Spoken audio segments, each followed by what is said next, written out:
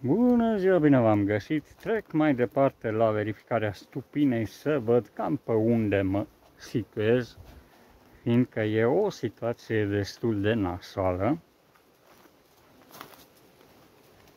O situație destul de nasoală per total, coloniile foarte, foarte afectate de varou. Deci cum arată varoa? Probabil este o lecție bună pentru a nu te juca cu păduchele. Am riscat, deci sunt la limită. Am riscat mult cu această treabă. Am riscat și mai mai să pierd. Avem aici rame goale. Așa, dăm deoparte.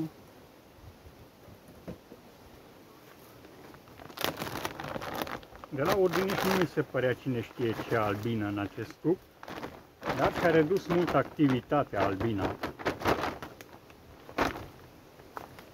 O să fac mai multe filme la tot stupii datorită gestionării uh, să văd uh, cum să gestionez eu coloniile, mai bine zis. O să vizionez filmele și o să-mi dau seama cam cum voi proceda în perioada următoare. Adică nu mai am ce să procedez, pur și simplu fac restrângerea și care colonie e bine, e bine, care nu, nu. Deci asta e toată treaba.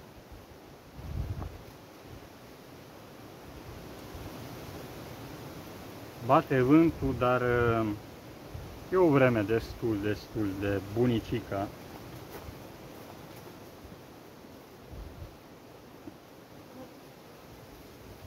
e o vreme bună și să văd de unde să încep cu, cu stupul. Are, teoretic ar avea cuibul în partea dreaptă datorită urdinișului. Și să vedem o altă colonie, probabil la limită.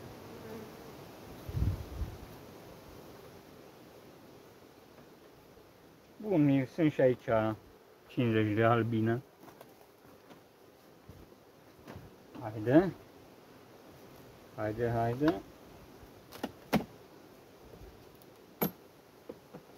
Mutăm în cat uh, ramele care nu avem nevoie de ele. Aproximativ încă două rame vor fi mutate în cat pentru a reuși restrângerea cuibului.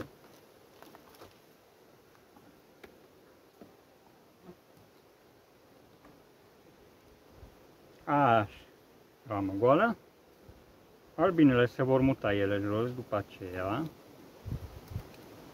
Și acum să trecem să vedem cum organizez acest cuib.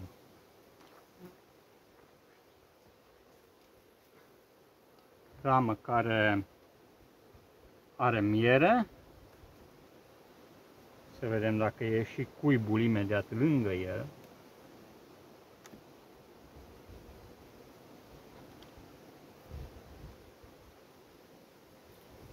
Da, este aici. Cuibul mă uit dacă sunt albine eclozate afectate de varoză.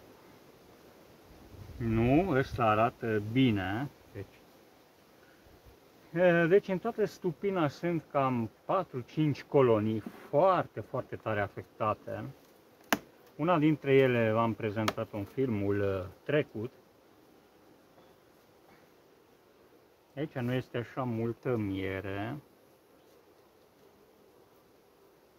Bun. Unde nu este așa multă miere, e puietul un pic mai mult. Deci încă aparține cuibului.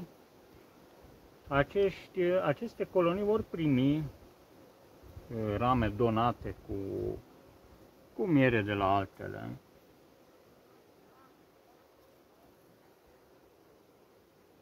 Mă uit de ouă, sunt ouă, mă uit de albina afectată de varoză, Varoza ce conține? Conține mai mulți virus care provin uh, din infectarea cu varoa. Asta este problema. Acum nu știu câți apicultori sunt în această situație, dar uh, s-ar putea să fie. Iată aici avem larvar. Da. Ăsta chiar arată bine. Cred că au mai fost stupi uh, buni uh, prezentați înainte, dar ăsta arată bine. Având o cantitate foarte, foarte frumoasă de, de puiet. Da, arată bine, bine. Știți cum se procedează când găsiți așa un stup cu mai puțină miere? Uh, sunt stupi din aceea blocați cu foarte multă miere și atunci scoți o ramă cu mai puțină miere, o muți acolo și lui îi aduci uh, ramă plină cu miere. Aici clară trebuie, deci foarte mult puiet la ora asta pentru o pentru o colonie, deci e foarte mult puiet.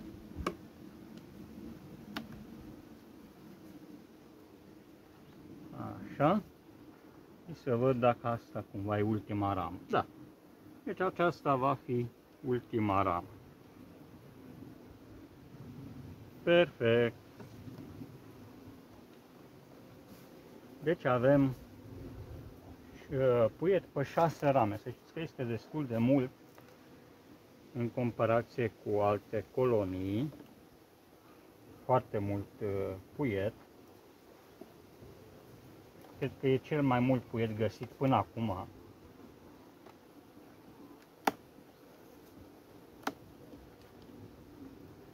Ramele care nu le folosește albina le mutăm după diafragmă.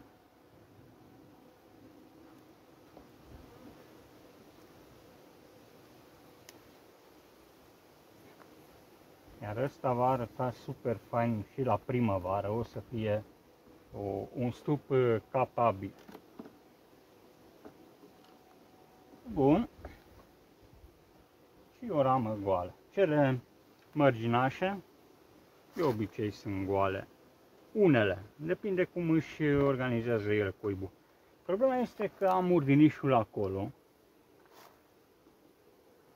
și un eventual uh, furtișag e foarte ușor să se întâmple dacă lași uh, rame, să zicem,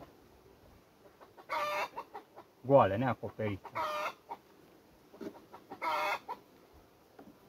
Așa. Un scup foarte, foarte frumos de altfel. Se punem o diafragmă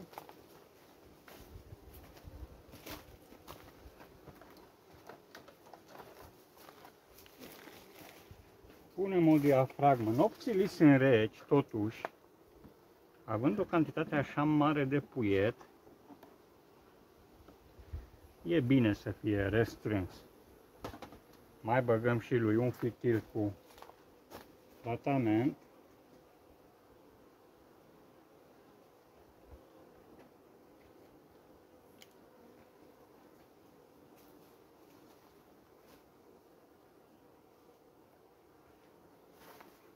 Este asta cu bățul greu mi-a venit. Greu, greu a venit în cap omului cum să aplice acest tratament foarte ușor. Cât de ușor să-l bagi între rame. Tocmai de aceea s-au inventat uh, materialele acelea de le, din lemn ca să le introduci ușor între rame. Fiindcă capul omului nu l-a dus să ia un băț și să împingă fitilul între rame. Așa, aici avem mai mult rame goale și un loc în caz că mai am nevoie de a depozita ceva rame. Bun, deci ăsta, stupul ăsta arată foarte bine, asta o zic pentru mine, fiindcă voi eh, ține cont în eh, luna octombrie când le bag la iernat, octombrie la sfârșit, noiembrie, s-ar putea să se întindă vremea în funcție de cât de cald este. Bun. Ăsta e în regulă. Trecem mai departe la următorul. Deci lucrăm cu albinele. Așa. Uh, varoză, varoză, varoză.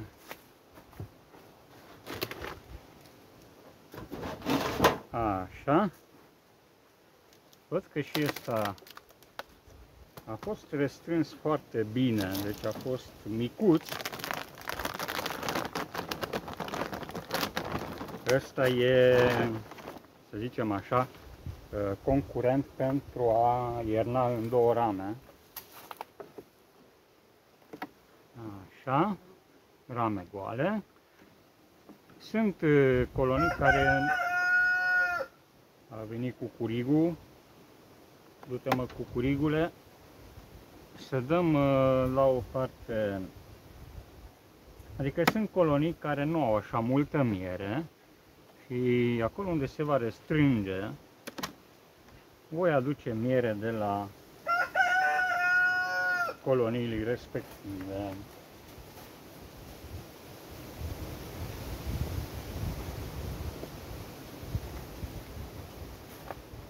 Vântul continuă să bată.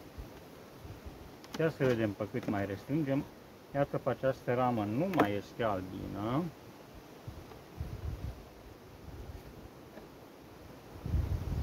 Foarte puțină, deci nu, nu putem uh, ține cuibul uh, pe rame unde nu este albin. Să văd dacă are puiet. Într-adevăr are, dar uh, și ăsta e un stup afectat de varoză. Bun, să văd dacă pot restrânge la maxim. și iată este un uh, stup, zic eu, care nu, nu știu dacă va supraviețui.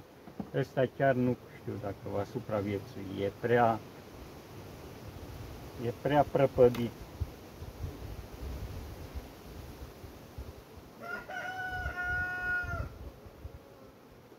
Ar fi ceva să-l să-l reușesc, să supra, să-l salvez. Na, hai că-i dăm. Să-i dăm o șansă și lui.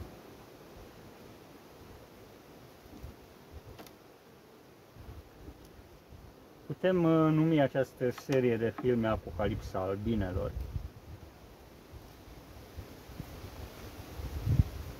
Păsturarea, uh, miere are, albina nu prea. Chiar aș fi curios uh, cum trece o astfel de colonie de iarnă. Mă îndoiesc, sincer mă îndoiesc.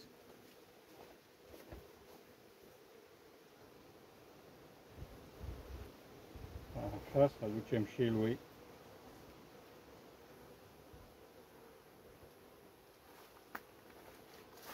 Din câte văd eu acum fix 3 luni de zile de tratament îi lipsesc.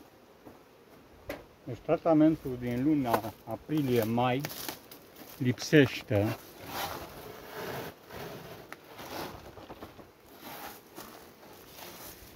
Nu știu, formicul mi s-a părut apă de ploaie. deci n-a fost, uh, n-a avut eficiența uleiurilor esențiale de anii trecuți.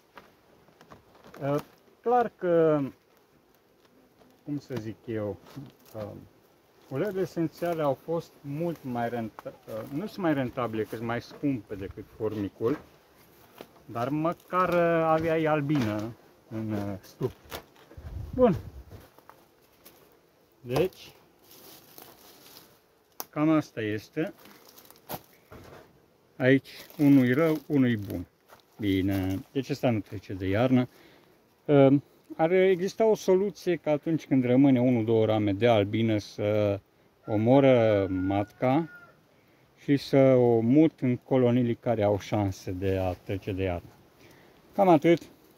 Până data viitoare, numai bine!